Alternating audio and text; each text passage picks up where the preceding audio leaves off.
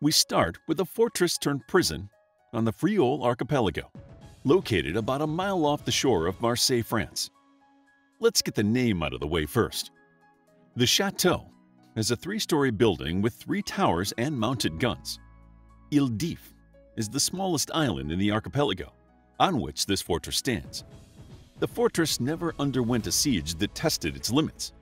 According to engineers, the fortifications were built roughly and would not sustain a barrage of projectiles in the case of an attack. Its main value was as a military deterrent.